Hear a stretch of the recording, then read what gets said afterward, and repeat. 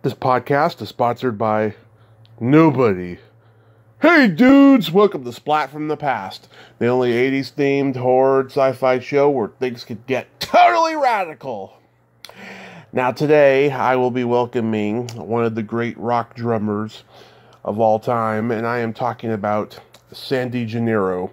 Sandy uh, played in Michael Bolton's rock band Blackjack back in the late 70s, uh, early 80s. And then uh, he went on to play with Pat Travers, Cyndi Lauper, Joan Jett, the Monkees, many great people.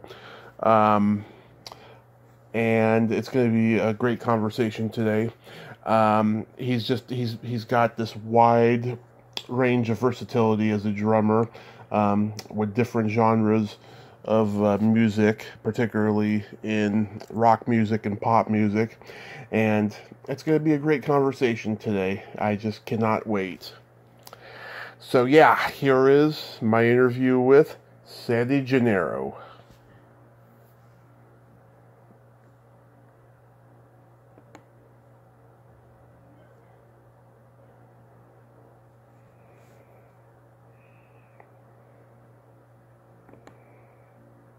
Hello. Hey, Sandy, welcome to the show, sir. How are you today? I'm doing just fine. How about yourself? I am doing just uh, spectacular, and this is a uh, tremendous honor. Thank you for taking the time today. Well, you're very welcome. Uh, it's a beautiful day here in Nashville. Where are you today? Redding, California. Oh, it's probably really nice there as well, Northern California. In terms of weather, it is, yes. Uh, is there a lot of fires and stuff there? Oh, yeah, in the summertime, it happens like every other day. Uh, that's that's well. I hope you stay safe, man. Oh, yeah, in my area, we're pretty safe over here. Good. So, going back in time, I was reading. Uh, you start. You started playing toy drums at the age of three, and by thirteen, you had started um, playing a French snare drum set. Um, were there any uh, rock drummers that influenced you?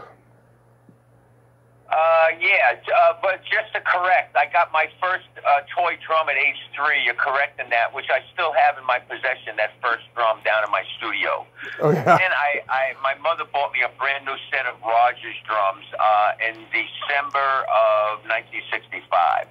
But the drummers that originally influenced me was um, was Ringo Starr.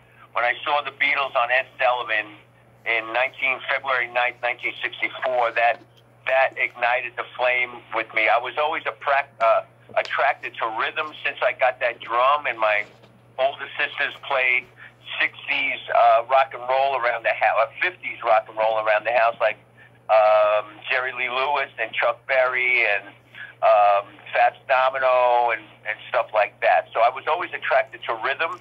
But when I saw the Beatles on Ed Sullivan, uh, that was that was the first time I actually saw a drummer play drums. Like actually saw a drummer play drums. Prior to that show, I only heard uh, drums on record. So that re- that did it for me, and then that developed into me listening to a lot of more uh, British invasion groups like the Stones and Charlie Watts and Cream and Ginger Baker, Jimi Hendrix and Mitch Mitchell, uh, Led Zeppelin and John Bonham. Um, I was always uh, attracted to the British invasion bands. Um, Yeah. and th- and then later on, it was uh, right at that same time. I was a big fan of Vanilla Fudge with Carmine Appice, Yep. uh, Carmine Appice, depending on the pronunciation. Um, and he turned out to be a, a good a good friend to this day, Carmine. And then Aerosmith, of course, and uh, Mountain. They were Oh, always. yeah. I was always a big fan of of you know the hard rock, but songs as opposed to metal or anything like that. Oh yeah, that's all wonderful. Uh, how about Dave Clark? Dave Clark, definitely. Uh, yes, that's one I neglected to mention. But Dave Clark was a was a really I was really uh, attracted to like songs like "Glad All Over" and uh, "Bits and Pieces" because they always seem to have the drums being prominent. Um, they they they had some really uh, like in bits and pieces. There's a great drum fill in the in the intro, and I saw them on Ed Sullivan too. Um, but yeah, Dave Clark Five. Uh, Dave Clark Five was a big influence. I I love those songs, and uh, yeah, as you know, as as like even like um, uh, uh, Herman's Hermits. Not not as not that I'm going to ever ever learn anything from the drumming on Herman's Hermits songs, but Yeah. the song the songs were awesome. You know, the songs Yeah. were very catchy and and I just loved the songs. And I went on to work with Peter Noone, the- the lead singer. He's still singing and touring as Herman's Hermits uh, today. But yeah, it's it's I'm a very I'm very attracted to songs, and then the drumming within those songs I align to. You know, but the songs Mhm. are the thing for me. It's not actually drum solos. Don't really do a lot for me. I'm more of a song guy. Right. So that that's basically what what that what that is. How about the uh, the early guys like Gene Krupa and Buddy Rich? Well, the, yeah, that that comes into play at the very beginning during that time where I got that toy drum for Christmas. Yeah. In addition to the '50s music being played around the house, because I have two older sisters and they used to buy 45s all the time. So I listened to those those uh, singers or those acts that I mentioned before, like Jerry Lee Lewis and Chuck Berry, etc. Um, but my dad and mom used to play big band music around the house too. And my dad, every once in a while, used to point, "Hey, you know what? That's Louie Bellson playing Sing Sing Sing," and and uh, that's Louie Bellson playing the drums, or that's Gene Krupa playing the drums. But again, I was attracted to to the sound of the drums, not necessarily the genre of music Right. and then but the visual seeing Ringo play and more more so in addition to seeing him play it was it was the songs um, and it was the way the girls reacted to the Beatles screaming and I said man I don't know what's going on there but I want part of that you know is my my drumming going to make girls react to that to that I said I want part of that so um, yeah, to answer your question, uh, I always admired the technique of a Louie Bellson, a Gene Krupa, a Buddy Rich, uh, Right. Philly Joe Jones, all those guys. Uh, but I never really subscribed to playing that music. I, I I respect them for their technique and for their you know for their prowess on the drums, but I I never uh, attempted to emulate them. But I al- always attempted to emulate the British drummers that I mentioned before, starting with Ringo. Right. Do you remember the first album you ever bought? Uh, the first, the first album I ever. Now, again, I was exposed to al- albums around the house because I remember seeing the first Elvis Presley record that my sisters bought, the LP. Right. But the first album I ever bought was the Jimmy Are You Experienced Jimi Hendrix record. Um, and I, I lived on Staten Island uh, at the time, and I took a, the Staten Island ferry into Manhattan because on the radio weeks prior to the release of that Are You Experienced record, they were playing Purple Haze and Fire on the radio in, in, in New York, and, and they were hyping the Jimi Hendrix experience as this brand new band, blah, blah, blah and the album was going to be released on a certain day at 10 a.m. And I went into the city and I waited online outside this record store on 8th Street in Greenwich Village. And um, when the store opened at 10 a.m., I went over to the, the, the, the clerk and I said, I want the new Jimi Hendrix record. He goes, Oh, it's in a box in the back. We haven't even unpacked it yet. They unpacked it and they slapped the price tag on it. I think it was like four ninety five or something. Right. I took it and bought it and went home back on the ferry and, and I didn't open the record obviously until I got home. But I looked at that record and I just stared at that record the whole thirty minute trip across back to Staten Island on the ferry. I couldn't believe what, what the pictures on that record you know, you gotta keep in mind that in in nineteen sixty eight or whatever year that was, Right. um, there was no internet, there was no access to videos, there was none of that. Yeah. None of that. or, you know, you had to wait to see a band live in order to see the band. So all you had as a visual was the back of that record and the liner notes and, and the sleeve or whatever. Um, and incidentally, I played in a, a, a cover, a high school cover band at that time. You know, and that Right. night uh, when I brought the record o- home, we had a band rehearsal, and we rehearsed Fire and Purple Haze. And that night we went on a battle of the bands at some high school on Staten Island and won the battle of the bands because we played Purple Haze and Fire. We we we ended up winning the battle of the bands because we played those two songs. That's cool. How about Yeah. uh, your first concert? My first concert was my mother and my right around the time I first started, and I don't remember the year, but if you can look up the year that This Diamond Ring by Jerry Lewis, Gary Lewis and the Playboys, when that was a hit, Mm-hmm. I remember going, my sister and my mother taking me to Atlantic City, and there was a venue in Atlantic, off the Atlantic City boardwalk called, uh, it was the, the pier, the Steel Pier it was called, and they had acts at the end of the pier facing inland. And we went, and Gary Lewis was the headliner, Gary Lewis and the Playboys, and their hit at the time, as I said, was This Diamond Ring. But the opening act, the thing I remember mostly about that gig was the opening act was a horse that that that dove into the, the ocean and swam back to shore. That was the opening act. That was the opening Oh my. God. The diving horse.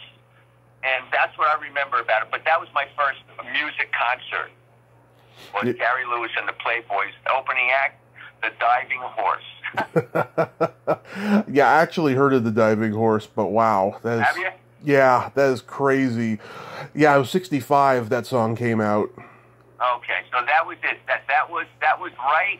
If it was 65, now depending on when in 65, this was actually during, you know, it had to be during the summer or the spring or the fall. It had to be inclement weather because the gig was outside. Um, so, and I, fir- I, as I said, I got my first drum set uh, December 31st, 1965. So uh, that was a year after the Beatles appeared, and it might have been after I saw Gary Lewis. Nice. So, so at 14, you you joined the Black and Blues. Uh, well, yeah, I was the drummer in the I was the drummer in the Black Blues. That was my very first band. hmm And, you know, I don't know. You might have seen the picture uh, on my website or somewhere online, or I, I might have posted it of that of, of my rehearsal space down in my mother's basement with the four pictures of the Beatles above hmm and the Rogers drum set, and I put black and blues with black and blue electrical tape on the bass drum Yeah. and the B was the B for black, and the B was the B for blues. I thought I was very artistic. and then right to the left of that, looking at the drum set, that was that was what I called, or what we used to call the Victrola, which played albums and 45. If you put the little disc in the 45, and there was no headphones involved. Again, it's 65, 66.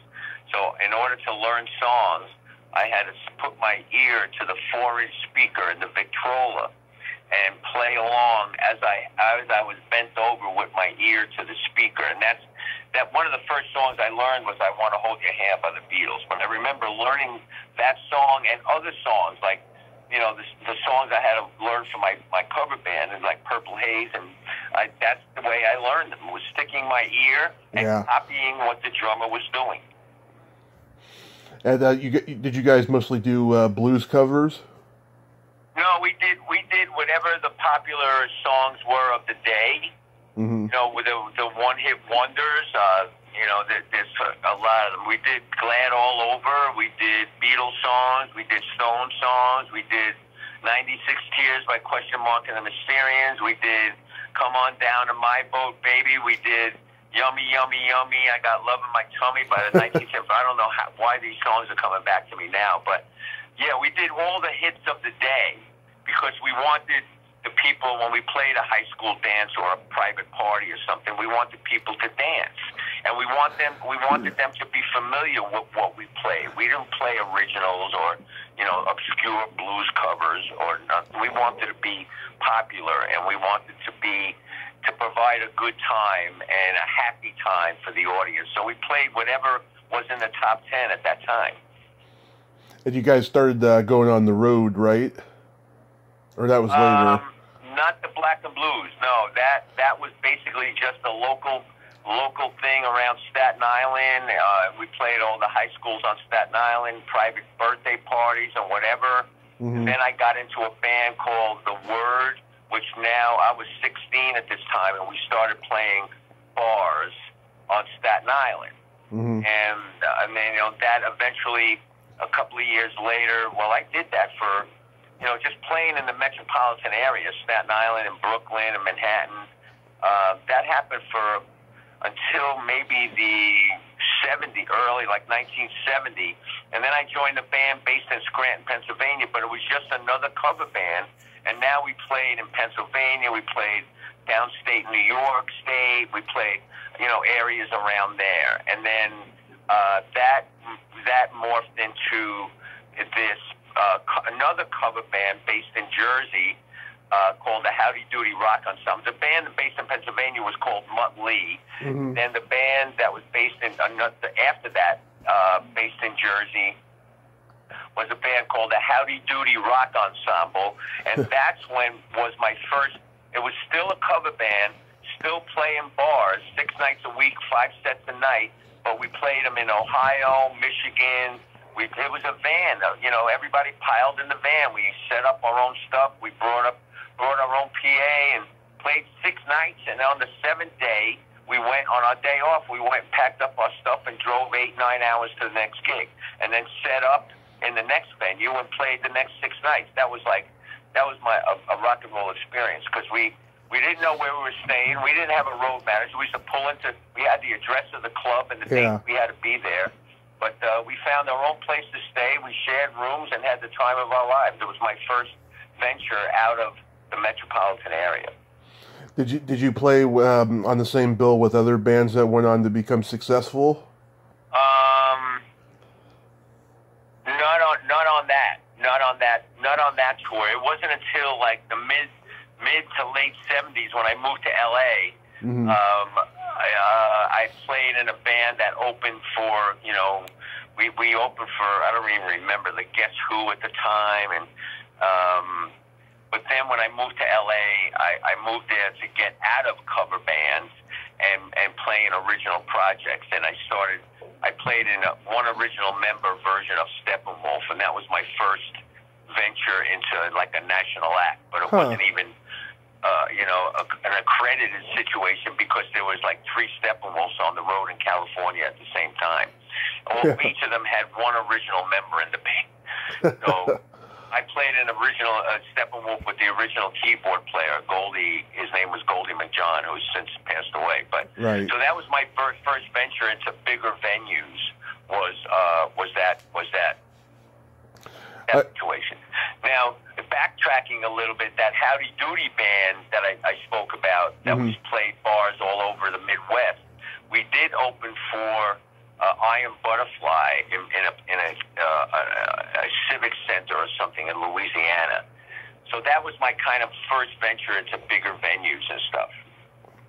Uh, according to my research, before you got to be in Blackjack, uh, you were in a situation where you got to be on the Tonight Show. Yes, uh, that was just a random, having nothing to do with bands or music. That's when I moved to LA. I was always a big fan of Carson, and I while, Mhm. while I lived in LA, in Hollywood, I sent away for tickets because he emanated the show from Burbank at the time, and I got tickets. Right. And I went randomly in, in to the show, and I got picked to sing uh, a song, you know, to play on to sing on Stump the Band. And if you know anything about that that little game that Carson played, um, it happened like uh, it happened. You know, that game actually happened like once every two or three weeks on the Carson show. And uh, the night I went, he not only played that game, which I was a big fan of, and I always thought watching that show at home in my mother's house in Staten Island, I said, if I was ever on that show, I know exactly what song that I would sing, and I would definitely stump the band. They wouldn't know it because I wrote the song, and it was a country song, uh, ironically. So when I moved to LA, I got tickets. I went to Carson. Not only did I did he play stump the band that night, but he picked. I was I was seated in the third row aisle, and, and did you see that video? No. Okay, you, you have to search search it on YouTube because it's uh it's pretty entertaining, and it was it was done before I've done anything wor- worthwhile musically, Yeah. and subsequently. Not only was my dream realized of being on Carson, but I I, fr- I freaking st- sang sang the stumped the band. I mean, I sang "Tweezers of Your Love," the song that I wrote, and Carson ended up being my straight man. It was it was unbelievable. And then I went on to be on Carson like three more times, twice with Lauper, with Cyndi, and once with the Monkees when Jay Leno um, uh, hosted, but twice more with the with Cyndi when Carson hosted. And um, he actually didn't remember. I went up to him and asked him if he remembered my appearance singing uh, "Tweezers of Your Love." He said no, you don't look. You don't really look familiar, to be honest with you. I see. He goes, "What song did you sing?" And I mentioned "Tweezers of Your Love," and he goes, "Oh." His eyebrows went up. He goes, "I remember that. I remember that song. That was awesome. You gave the band the chords to the song." And I went, "Yep, you're right." you have to look it. You have to look it up on YouTube. Just search Johnny Carson "Stump the Band," "Tweezers of Your Love" or something, or Sandy Gennaro, Johnny Carson, or something. It'll come up. Okay, I'll check that out. That's so cool. That must have that must, must have been nerve wracking though, because because because he's an idol of yours. Yeah, it was kind of nerve wracking to tell you the truth because you know you see me on the video. I kept buttoning and unbuttoning my jacket like about three or four times, and I'm, I'm standing there with Carson with the microphone into my mouth, and I'm looking, and like four feet away there was this big, huge TV camera, and I'm going to myself, man, every, every there are millions of people watching me right now. Yeah, I, to tell you the truth, I was really nervous, but I, I delivered a couple of key lines, which Carson got a kick out, kick out of. But you'll have to watch it and see. I sure will. There, there's a guy. He for the last I don't know seven eight years he's had a podcast dedicated to Johnny Carson where he just talks to everybody who was ever on the Tonight Show, uh, people who work there, everything. I'm sure. Oh, that's awesome. Yeah, it's does called. He still, does he still have that? Yeah. Oh, yeah. He does it every Thursday. It's called the Carson Podcast. I'm sure eventually he'll reach out to you because he's. Oh, that'd be awesome, man! I'd love to be on that podcast. Yeah, he's a savant when it comes to the Tonight Show. I mean, he knows all. This guy. Can you do you have a way to reach out to him? Um, I mean, I, I could email him. I mean, I, I would like to have him on this show eventually, but um, sure, I could I could Well, you uh, know, if you definitely could do try. me a favor, that that would be great to reach out to him and just you know uh, tell him a little bit of the story I just told you, and maybe you know I'd love to be on it. Just uh, you know, you can pass my uh, pass my email and uh, contact information on to him. That would be great. Okay, I'll definitely keep that in mind. So, how how does uh, blackjack come into your life? Uh, well, that that is. Uh, I'll try to make the long story short. I moved to LA, and um, I was trying. I, as I mentioned, I went out there to get my first big break in the music business, and nothing was really happening after three years. I was one disappointment after the other, Mhm. um, and I. Uh, I hesitate to go into the full story because it's a little bit lengthy, but I'm Mhm. trying to I'll condense it as much as possible. I had after three years, I had the opportunity to rehearse with, to to audition for Rod Stewart, and the audition was held in a st- SIR Studios, which had all the equipment already set up, the drums and everything like that, and it was a cattle call audition. But and so people were going in and out, drummers were going in and out, playing the song "Tonight's Tonight."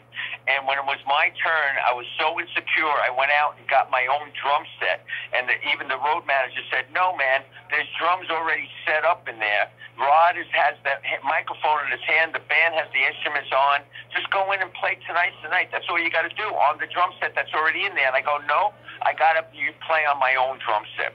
So as a result, you know, you see the end coming here. The the I made Rod wait and the band wait, so I set up this double bass drum set to play the simplest song in the world, which is Tonight's the Night. And I obviously didn't get the gig. Carmine Appice was a good friend of mine at the time. I mentioned Mhm. him, and I mentioned the story to him, and I said, you know, Carmine, this is a lesson in karma, and it's a lesson of when you do something for other people, good things happen to you. So I said, Carmine, I blew the Rod Stewart audition, but you know what? I don't think they found anybody yet. Now, if you know anything about Carmine uh, Peace, he's already played with Ozzy and the Vanilla Fudge and Jeff Beck and all of that. Right. He's a superstar living in L.A., and I'm telling him, hey, uh, Carmine, I think you should go down for that gig, man. I don't think they found it. He goes, do you, do you have management's number? And I gave him management's number. He went down and he got the gig, which turned out, by his own admission, to be the biggest gig in his life. He Yeah. co-wrote the "Do You Think I'm Sexy?" whatever. But in return, in another conversation right at that in that period of time, I said, "Hey, Carmine, is it okay? I don't know what to do. I was as, depressed as I ever was going to be because I blew what I thought was the biggest opportunity I was ever going to have to make to make it out of cover bands." And I said, "Can I use your name as a reference in a resume?" And he said, "Sure." So I sent 50 resumes out to managers that I really, really liked, the bands that they managed, and one of them was Peter Grant, who managed Led Zeppelin. Nice. Led Zeppelin's uh, Peter Grant's mail went to the uh, uh, Led Zeppelin's attorney's office in New York to be forwarded to Peter Grant in England. I I, I, I sent my resume to Peter Grant. Uh, care of Swan Song Records in New York. It never got forwarded to England. Coincidence number one was the attorney for Led Zeppelin at that time opened up my resume. His name was not even on it. That's coincidence number one. That's karma number one. Yeah. Number two, right at that time, the attorney's name was uh, Steve Weiss. Right at that time, he's putting a band together around Michael Bolton and Bruce Kulick's songs. He's sending those songs out on a cassette to different labels. Labels are getting back to him saying, We want to see this band. We really, really like this band and these songs. Songs written by Michael and Bruce. So now Steve Weiss needs a band because the label labels want to see this yet unnamed band, and he and Steve is shopping it not as Michael. This is 1978, so it's not. It's before Michael Bolton became famous. He Yeah. uh, he was shopping it as a band situation. So now he needs a bass player and a drummer. Right at that in that period of time, my resume arrives.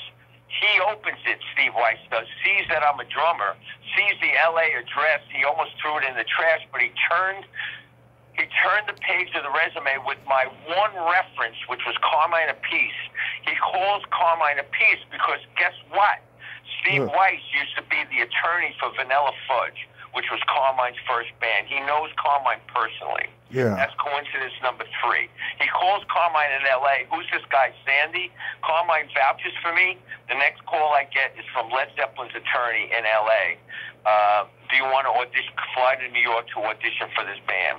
I went to audition for the band. I got the gig. The next day, Jimmy Haslip comes in. He gets the gig, and that's what started the band Blackjack. A couple of weeks later, we auditioned for Tom Dowd. Uh, well, first we auditioned for Polygram Records. We got the uh, uh, like a seven-album deal with Polygram or Polydor Records, and then uh, we got Tom Dowd to produce the record at Criteria Studios. So the, the moral of the story is is that no matter how down in the dumps you are, because I was hurting myself when I blew that audition for Rod Stewart, I was hurting myself physically. I was hurting myself mentally. My relationship at the time with with the with my first wife was falling apart. I had no money. I was three thousand miles away from home.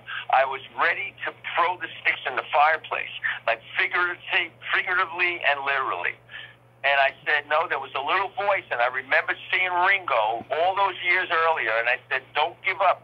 Don't give up. There was a voice wanting me to go buy another bottle of Jack and drink it. And Yeah. then there was another voice going, no, go, don't give up. Don't give up. Send the resumes out. Send the resumes out. Send the resumes out. As hard as it was on a freaking typewriter, one index finger at a time, typing those resumes to 50 different managers, it was the hardest thing I ever had to do. But sometimes you have to do do what you never did before to get the results that you never had. And that's what I did. And it worked out because the Blackjack gig led to Benny Mardones' Into the Night. It led to that album. Uh, being involved with Polygram, it led to the Travers, uh, my, my gig with Travers. And the dominoes just kept falling. But the universe wanted to see how bad I wanted to be a successful rock drummer. And that's the challenge that the universe placed, or God, or whatever you want to call it, placed in front of me in, in LA, and I rose to the occasion. As tempted as I was to do another line, or to drink another bottle of Jack, and to cry another night to sleep, I, I resisted that temptation. I freaking wrote that resumes, and man, am I glad I did. Yeah, that is incredible. I, I give you full credit for that. Wow. Tom, Tom Dowd uh, was coming off of producing Eric Clapton. Uh, what was he like to work with? He was the best. I'm so grateful for a lot of things that happened in my life, but that's one of the major things I'm grateful for. Is my first professional album project for Polydor Records was with the legendary Tom Dowd producing that record. And being that, and it was at the legendary, again, legendary Criteria Studios in Miami that are still in, in operation today.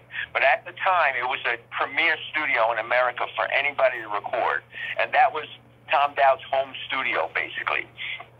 And I remember reading Tom Dowd's name on the back of Cream Records and then on the back of Otis Redding and all of the Allman Brothers, Bee Gees, Eric Clapton, all these people. And, I'm, and there I am as a drummer. A couple of months earlier, I was about to give up, and there I am in a studio being produced by Tom Dowd. And he gave me some very worthwhile advice. He was like my he was like my musical father. I mean, man, he and I, being a, a band member, I was able to stay around for the whole record. It's not not just when the drums were done. I went home. I stayed around for the mix. I stayed around for the vocals, the overdubs, the guitars, keyboards, everything. And I just sat in the back of the control room, and I just wanted to be a sponge of whatever Tom Dowd did. And he gave me some very worthwhile advice that I still use today. What is it, close to 50 years later? Were you disappointed the albums didn't hit? Uh, yeah, I was very disappointed because there was a lot of hype surrounding that first Blackjack record from the president of Polygram on down. They all had very high hopes about that record, and it was the priority as far as promotion. It was the uh, Polygram's prior promotion department priority in 1979. It, it, they were promotion department was told in, in 1979 put all the other acts on the back burner. The black, you have to break the blackjack record. So there was a tremendous amount of hype. We did videos in 1979 before MTV existed Yep. to send to Europe and the Far East for promo. We had Tom Dowd produce a record. We had a nice, you know, a, our first album, uh, the first run of our first album had uh, we had a de- it, it, the, the album cover was like a deck of cards where it opened from the top instead of this the standard sleeve on that you pull out the album from the side. Like we had everything going full page, four color ads in Billboard magazine, the back cover. Uh, we had the opening slot with Peter Frampton. We went on a Peter Frampton tour in promotion of that first record. Uh, we had everything a band could ever want in a first album uh, campaign, but it, the songs didn't resonate with enough people. So a lot of people say that it was maybe overhyped a little bit, where you know we had in, even Polygram hired independent promotion people that you know back in the day when he used to, they used to hand the program directors a, a little envelope under the table, and it had a couple of tickets for him and his wife in Hawaii just to play the record. You know, there was Right. a, so there was that stuff going on. But we even with all the hype and all the the money that went into the promotion of that record, it, it didn't it didn't warrant the hype. In other words, it, it didn't even. We had to go gold in order for us to break even. Yeah, I like the first album. I think it's a pretty good one. I think so too. Uh, and Bruce and I, we, I'm still very good friends with all of the guys in the band, which is I, I, I value that more than anything. Yeah, me and Bruce are in touch. He sent me a bunch of stuff to to, to uh, auction at, at the uh, cancer benefit I'm doing this weekend. Uh, Michael Bolton sent me a bunch of his signed stuff to, to raffle off for charity. I'm still in touch with Jimmy. We just recently did a Zoom call, all of us, as sort of like a, a reunion of sorts. And so, yeah, I love that band. It was my first one. It's like, you know, your first girlfriend was always, your first kiss is always the special one. Yeah. Uh, well, my first my first band was uh, it was awesome, and I value the fact that we're still all in touch with each other. That is awesome. And then uh, you got to work with uh, Pat Travers on Radioactive and Black Pearl. So how did that come about? Well, that came about as I alluded to before when the Blackjack uh, two albums with Blackjack was on Polydor Records. Mhm. Um, then Benny Mardones's record was on Polydor Records, and I became close friends with. Um, I was I was being dubbed as uh, Polydor's house drummer because I, I was playing on different projects of Polydor, and I got a call from one of the A and R guys saying, "Hey, man, I heard." Uh, and Pat Travers was also on Polydor. Mhm, Yeah, I heard right. that Pat is going thinking about firing Tommy Aldridge, or this was in 1980. uh, here, don't tell him I told you, but here's Pat's manager's number. So I got in touch. I went and met with the manager. He said, "No, we're not going to fire Tommy, but here's a board tape, a, a show tape, if you ever, if you want to listen to it." So he gave me a cassette. I went over home and started rehearsing it, just not knowing if anything was going to come about. And I got a call about maybe, I mean, four or five months later, asked by David saying, uh, "Hey, you want to come and audition for Tr- Travers?" So I flew down to Orlando and I play. I auditioned for Travers on Tommy Aldridge's drum set, by the way, and um, Uh-huh. got the gig. And um, you know that was in December of 1980. And then right after the new, I did a couple of live gigs with Pat as sort of like an audition down in Florida. And uh, asked me to join the band. And then I think in January, February of '81, we were in the studio making Radioactive and then we went on tour with Rainbow in the spring of '81, and and then we stayed out. We we opened for everybody basically, and did some big festivals, and that was my introduction to be, you know, in a band. That's why I'm grateful for Pat for that opportunity because I was with a national act, and that was my first national recognized nationally recognized act with. And he would, you know, he had some some uh, some nationwide hits with Boom Boom and Snort Whiskey and whatever. Yeah. So that put me, you know, we opened for everybody, Heart and Blue Oyster Cult and Ted Nugent and and all of that. So I was playing arenas on a daily basis, and that was my first. Uh, well, aside from that that Peter Frampton tour with Blackjack, we played arenas then too. But so that was, um, you know, that's where I got Travers's gig is where I got my drum endorsements, my uh, cymbal endorsement, my stick endorsement. So that that put me on the national radar, basically, where people were wonder, fans of Travers were wondering who's this guy replacing Tommy Aldridge in the band because I love Tommy, great drummer. Um, Mhm. It was kind of a, kind of a, a perk for me to actually replace a great drummer in a, in a really at the time a really really good band. And, And- then Travers led to you know that led led to Cyndi's gig, and it, you know it's like it's like the universe, man. Sometimes when the universe puts problems in front of you, it's a test to see how bad you want to overcome that problem. And if you rise to the occasion and, and stand up and brush yourself off and rise to the occasion, the universe rewards you, man. I had no idea where these gigs were going to come from. Right. And I had no idea, you know. But the, the, the, every every really good gig that I've gotten in my life has been, a, a, a, a, um, it's been a product of me treating somebody nicely, treating somebody like a human being. You know, I never really put the rock star hat on, and um, I always was, my, was myself, and I always treated people with respect, regardless of what title they had, or regardless of what band they were in, or regardless, you know, it could be the janitor, it could be my roadie. I always treat people with respect, and good things come from that when you, when you, when you when you make people fortunate for having crossed your path and you engage people as an equal, regardless of what their bank account looks like or what their title is or what band they play in or what they do for a living or whatever, you know, the universe smiles on that. And I call them when God winks at you. You know, when you do something really Yep. good for somebody, you get a God wink. You know, and it could be like pulling up to a restaurant and the, and looking for a parking space, and somebody pulls out right as you're pulling up, and you have your parking space right. You know, that to me is a God wink, and that's like an incidental little thing that happens, and you, you don't think anything of. Oh, that's just a coincidence. But sometimes a God wink happens, and they can it can change your life. That's a great way of looking at it, Sandy. I like that. Yep. Yep. How, how does um, Cyndi Lauper come into play? Well, that again, it's it's. I was with Travers. We played an arena.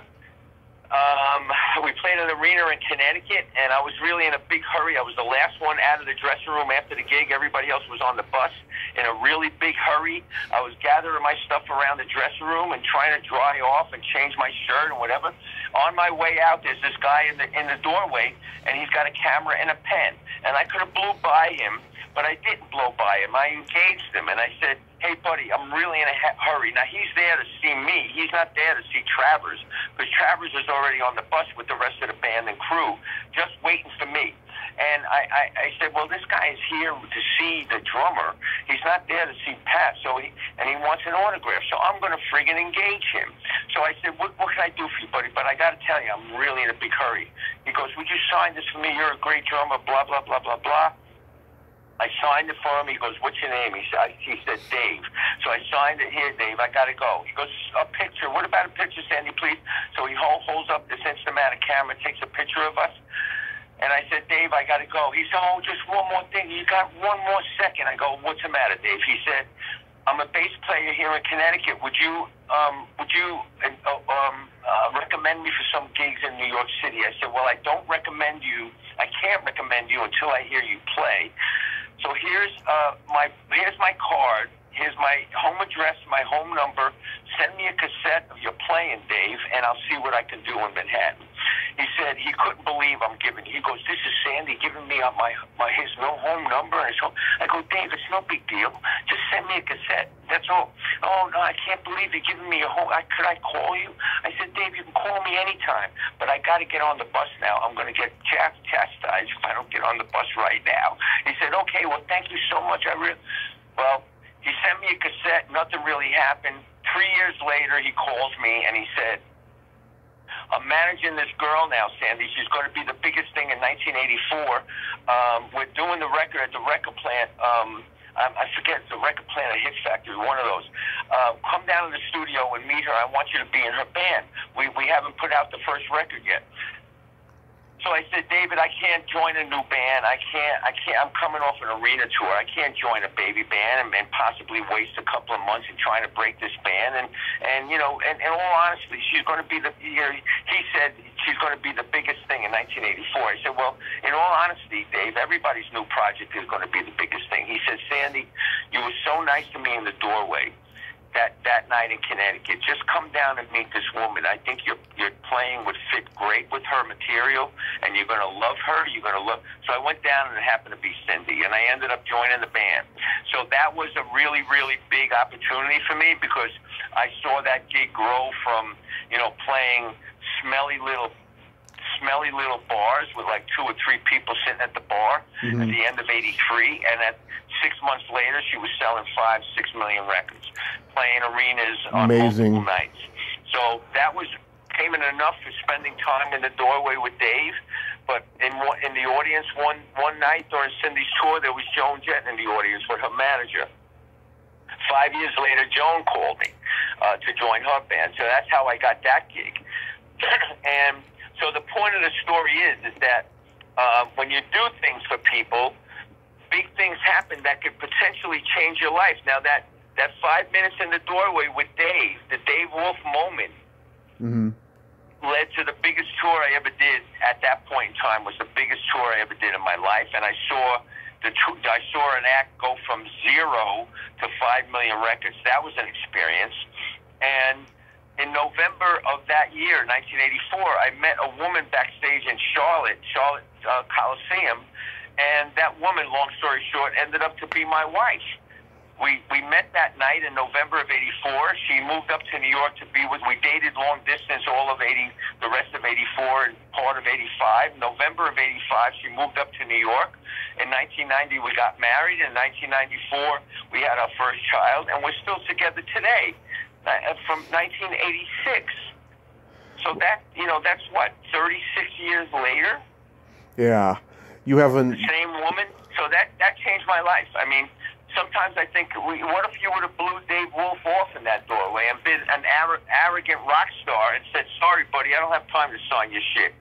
And you know, I, how would my life be different? Exactly. you know, it's like you had, you have this aura of goodness around you. Well, you know what? I don't. I, I the aura doesn't come to me. It doesn't. It doesn't come to people. The aura is produced by the way a person thinks and acts. Right. It doesn't come from the outside in the aura.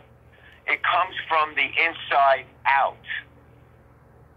And it, that that's it's it's according it's according to the way you act and the way you think and the way you treat other people. And when when when you send that good aura out, then you get good aura back.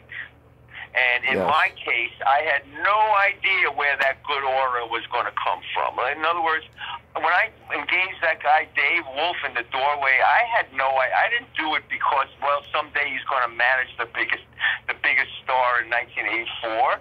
I did it because he I, I wanted to do it because it's it's the right thing to do.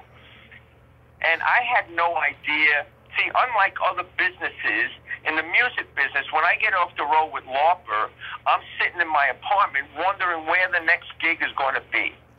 My calendar is empty.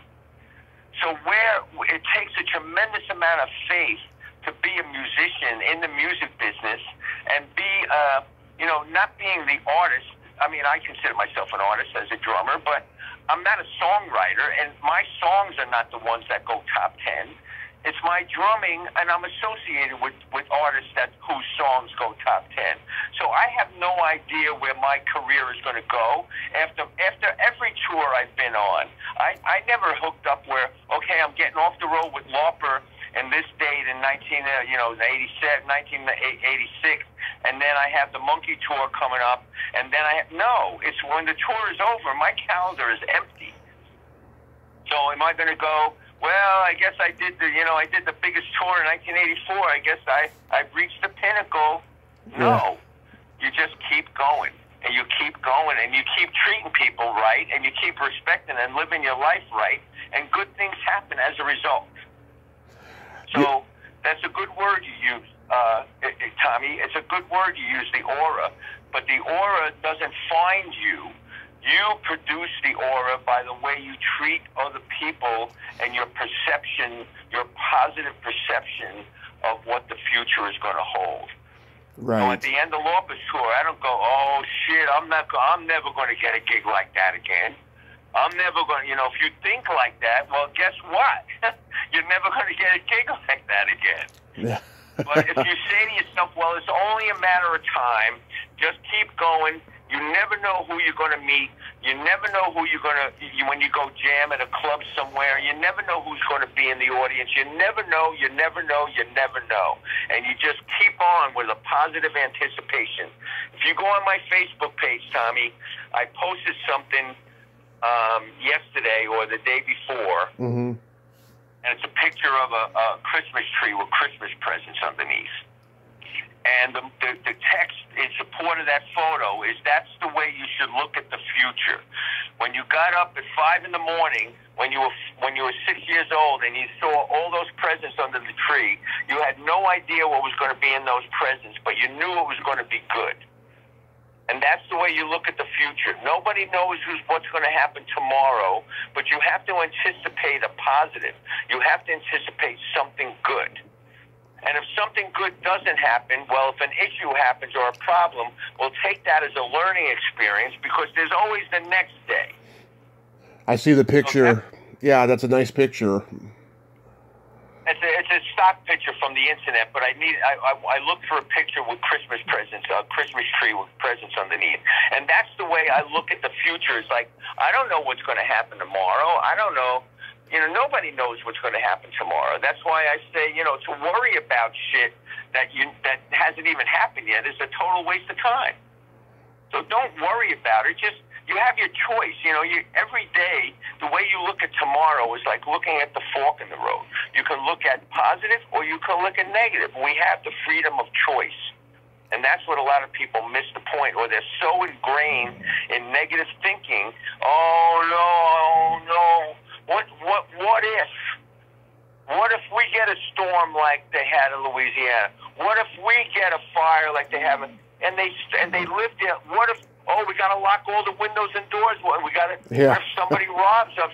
You know, you live your life in a state of fear, and that's that's not happening, man. I, I never I never believed in that. I have family members that I still try to talk out talk out of living in a state of fear. Like, oh, well, make sure all the doors locked.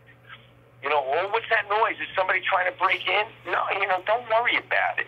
Yeah. Anyway, I, I, I could talk your ear off when it comes to that stuff. Uh, you were in Cyndi's video for Money Changes Everything, which was filmed at the Houston Arena. Did you guys know that it was going to be a music video, or was that just incidental? No, no, we definitely knew it was all planned. I, I mean, No, it, we definitely knew. I mean, she didn't go up in a garbage can at, at every gig. Mm-hmm. You know, we I remember having a meeting, uh, and Cyndi wanted to go up in a garbage can, and and uh, they decided what they first of all it was it was a safety issue, so they got they they they somehow rigged up with a garbage can, and she was able to do that. And we did a sound check in the afternoon, and we had we were told that we had a it was a Summit Auditorium in Houston, Texas which went on to be the Compaq Center where the Houston Rockets played, and now it's uh, Joel Osteen's church in that big arena in Houston. Joel Osteen's got it's Lakeview or Lakeside or whatever. But anyway, um, it, yeah, we knew it was going to be a video, and uh, we did. We had to wear the same clothes in the afternoon. We wore the same clothes that we were going to wear that night at the at the gig, and we they did all the close-ups in the afternoon. We played money changes, everything. We did, they did all the close-ups, and then that evening uh, at the gig, uh, by uh, radio station knew we were going to do a video, and, and they they announced to the, the to the public that we're going to do a video that night at the Summit Auditorium and um, or the Summit Arena, and um, everybody was told to wear white. Cyndi wanted everybody in the audience to wear white, so it, sh- it showed up really well in the video. Mm-hmm. And uh, and then they did. We we you know during our regular concert, Cyndi said, "Okay, we're going to do our video, blah blah blah," and then we played "Money Changes Everything" like we did every single night. But on this night, video night, she went up in the garbage can and came back down or whatever. So. But it was all recorded live, and that's what the video soundtrack is is our live performance. It wasn't lip syncing to the record. That's so cool. I like the uh, the the the Craaft album. Well, how come that band didn't take off? Uh, that's a good question. I was just going to ask you that. I have no idea. There were good songs. Uh, it was um, it was basically the idea of that. It was uh, of that of Craaft was they wanted it to be a German uh, German journey. In other words, the material was like power, powerful, crunchy guitars, but the but the, the melodies were kind of like Journey, like sing like good good melodies, good songs. And I don't know why, but it, that was one of my greatest experiences because I I played on that record, and the, the principles of that record were based in Germany, in Frankfurt. Mm-hmm. And I played played on the record, and then they asked me to to, to go on the road live uh, to tour in support of that record, and we were the opening act for Queen in summer of '86, from like May up until September or something. It was one of the most awesome tours I ever did in my whole life, and got, getting to know the guys in Queen. It was awesome. Yeah, God, that must have been amazing. I mean, they were still putting on really good shows back then. Yeah, absolutely. How about uh, working with Joan Jett? Uh, what about? Um, you got to play on the hit list, which was a cover album. Um, Right. How what's what's her process like Uh, process in terms of what? in terms of musicianship? Like you know how she chooses her covers and all of that. Uh, that that I don't know. That you would have to ask her and her manager. That I know that a lot of those artistic decisions are made between Joan and her manager, her longtime manager Kenny Laguna, who both both of those people I love to death to this day. Um, and I'm still in touch with them to this day. They're, they're great, great people to work for. That was a wonderful organization to work for or to work with. And um, so I don't know. You know, uh, Joan was great. She was she was awesome. She everybody rode on the same bus. She wasn't like the star, and the, then the band was separate. Every, uh, the band, the Blackhearts, did a lot of things uh, in conjunction with Joan. I mean, Joan wanted the band included in a lot of stuff. She was definitely a band person. Uh, she's a great she's a great leader. She knows exactly what she wants.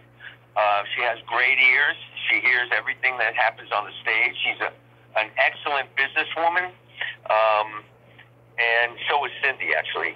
Uh, but yes, I, I have no regrets. There's no regrets working with Joan. I love the opportunity, and she loved to tour in out of the way places. So I got to see and, and perform in places like Singapore and Thailand and Taiwan and uh, Seoul, Korea, and, you know, Malaysia, Kuala Lumpur, Malaysia. So it it was a great experience. I love Joan to death, and and I, as I said, as with most artists I've worked for in the past, I'm still in touch with them on an intimate, in, intermittent basis, just to say hello. Yeah, I like that that version of the Kinks Cellul- Celluloid Heroes, which people call you know the Kinks version the best song never to reach number one on the charts.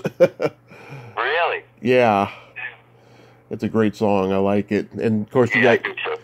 I like the the Kinks were another. Mention of the Kinks when you mm-hmm. mentioned Dave Clark Five, and we were talking about the British Invasion. The Kinks were another band that that my first one of my first bands, Emil, you know, did uh, "You Really Got Me" and dedicated follower of fashion and yeah. stuff like that. Yeah, the, the early Kinks, I'm really a big fan of the early Kinks stuff. And you got to be a Keith Moon guy too for the Who. Uh, yeah, that yeah we that first the Black and Blues band did some Who stuff. I remember I remember vividly, vividly rehearsing down in, in that in, well, on my Black and Blues set with the Victrola, rehe- uh, learning Happy Jack which was one of the first one of I think one of the first singles that um, uh, that the Who had. It was one of their first releases. Happy Jack. It was awesome. It was a really good song. There was some awesome fills in there too. Yeah, Keith was Keith was, but yeah, Keith was an awesome uh, early influence to me. Mm-hmm. Yesterday, I did a tribute to the Monkees with uh, Fred Velez, and he says hi to you. Oh, awesome, Fred! Fred, what, what does Fred do? Um, he's uh, he's in the the East Coast, and um, he just wrote his uh, second book, and um, he's been having health issues, but um, he's hanging in there. Well, what, what does he have to do with the Monkees? Well, he uh, he wrote um, a book about you know his fandom for them, and then he's written wrote a second book about them and stuff. You know, he's been the master of ceremonies for all their events for like forty years now. Oh, I. Okay, I might have I might have helped. I might have like met him at some point, like a convention or something. Oh yeah, he remembers you. That's why he said he. That's why he said hi and oh, stuff. good. Okay, yeah. Well, tell him hello for me. I'm sorry I didn't recognize his name. Oh, that's okay. Yeah. So yeah, I mean, playing with those guys, I mean, they're they're probably a little bit more show busy, right? Um, I don't know what you mean by show busy because they're they're from you know that that old school you know showbiz you know and they're they're actors and entertainers and all of that. Right. Yeah. Well, that, it was it was you know that's another situation I'm very grateful for because it's one of the things I love about this business is being able to you know grow up with certain bands and then years later find yourself on stage with the with the band that you admired. I remember rushing home from school to watch the beginning of the Monkees TV show and mm-hmm. watching that TV show week after week and loving them because it reminded me of the early Beatles. It reminded me of when I saw Hard Day's Night and it, it, it was basically I, I come to find out that the, the Monkees were put together, modeled after the early Beatles, after the Hard Day's Night. You know, a band and all the hijinks, and they all live together, and they're trying to escape the crowds and the fans and and all of that. And um, so having the opportunity to play with them was really, really special to me. And uh, me and Davy Jones became really, really close friends during. I did almost every reunion tour that the Monkees did from '87 up until Davy passed away. Not every single one, but I did most of the reunion tours that they did, and then as well as Davy solo gigs in between Monkee tours and Mickey Dolenz solo gigs in between Monkee tours. And by the way, everybody listening to this, uh, Davy I mean, Mickey Dolenz and Mike Nesmith are taking the Monkees out uh, this fall. Right. Um, I'm not. I'm not in this version of the Monkee backing band, but um, a lot of my good friends are, and uh, so I encourage you. It might. It may. They're advertising it as the last. The last farewell tour the Monkees ever going to do, but keep in mind there's only two remaining alive Monkees, which is Mickey Dolenz and Mike Nesmith, with a backing band. But I encourage everybody to get some tickets because uh, you may not see hear that material played live ever again. Yeah, I saw them in 1997 at Candlestick Park. They were playing before a Giants game, and um, oh, I was there. Yeah, yeah, and uh, at the end of the show, they got in like a Cadillac with the top down, and then rode off the field. right, right. Yeah, I remember being uh, being uh, I, I got changed. We I think we got changed in the visitors' locker room that that that, that day. Being a baseball fan, I love I love doing gigs like that. Um, in baseball stadiums. A lot of times we played like we, we would be the event at a minor league baseball game, but just being around baseball, it was I loved it. Right. So so what are you doing these days? Well, these days I'm playing in a uh, in a cover band, a '70s '80s cover band called Rock United here in uh, Nashville, and we do corporate events and uh, casinos and stuff. And uh, but most of my time is taking up. I still do a little bit of teaching in my studio downstairs, so some some drum instruction and stuff, music business instruction. Mm-hmm. And uh, but mostly, what's taking most of my time is uh, uh, speaking to corporate I use the lessons that I've learned, and a lot of to- a lot of those things, the elements I speak about to corporate is what we spoke about today about karma, about you know how you produce your own karma or whatever, and it's not luck, it's not coincidence, it's not any of that. You know, it's visualization mm-hmm. and the positive anticipation of events yet to happen. Um, and visualizing in detail what you want to happen and how you want it to happen and how you're going to feel as if it did happen. And so I speak to corporate on that, and that's that's starting to take off because I include like little clips of me playing with Cyndi or Joan or you know Monkees or Travers or you know I use little tiny little 10, 15 second clips to demonstrate a point in my power. And so now corporate CEOs are seeing this presentation, and it really really resonates with them because most CEOs these days were were kids smoking their first joint at a Pat Travers show, you know, in the 80s. So, uh, you know, now fast forward, now they're corporates, cor- corporate executives, CEOs owning their own businesses and stuff. And but they remember those days. So music resonates with everybody, um, especially 80s music. If you're 50, 50, 60 year old, 40, 50, 60 years old today, you remember those songs, you know? Right. So that's basically what I'm doing today. I speak to associations. I speak to, you know, corporate, uh, private companies. I speak to conferences and stuff like that. So that that's basically what's occupying most of my time. But um, I still enjoy playing, and I'm an equal partner in this band called Rock United. So um, so I keep my foot in the drumming uh, drumming arena there, and so everything is hunky dory.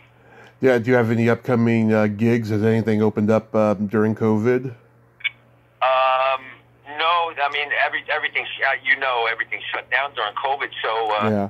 everything is starting to open up a little bit. Now it's starting to get a little bit tentative because of the new variant. Mm-hmm. Uh, but um, you know we're we're still playing out. We're playing at a casino coming up at the end of the beginning of October up in Kentucky.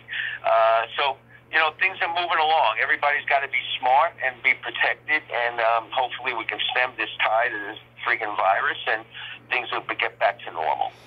And how and how was the uh, Rockin' Pod Expo? Oh, it was great. Yeah, we had I had a good time. Chris invites me almost every year to be part of that, and I enjoy being part of it. I like talking to people, and I like. Uh, you know, sharing sharing my experiences and in the hope that it helps somebody going through the same thing that I went through. And so, yeah, sharing my experience and the, any kind of meet and greet is always fun for me. And and I still get a kick out when somebody asks me to sign a piece of paper. I'm going, what? you know? Yeah. so I still appreciate that, and uh, so for that reason, I do it. If it's going to help somebody or inspire somebody or help somebody through a difficult time, then I'm there. Wonderful. I want to thank you so much for coming on today, Sandy. This has been great. Well, you're welcome, Tommy. And, uh, you know, I apologize for the, you know, we kept postponing because of my schedule or whatever, but you hung in there and, and you hung in there and we made it happen. And I'm glad, I'm glad you enjoyed it. And I hope your listeners enjoyed it too. Thank you so much, sir. Yes, I'm always, I'm always hanging in. I'm always patient. So you have yourself a great day and please stay safe. I, I, I appreciate it, and you do the same, Tommy. Thank you. Thank you. Bye bye. Okay, bye bye. Well, there you have it. Sandy Gennaro. Ain't he a sweetheart? Ain't he a cool dude? He's all he's all of, he's all of the above, a sweetheart, and he's a cool dude. Oh my god, just the the the, the great attitude that he has towards life. That's just phenomenal. You know, you don't see that very often in the industry. Well, until next time, this is Tommy Throwback Kovac saying there's no shame in living in the past because the present sucks.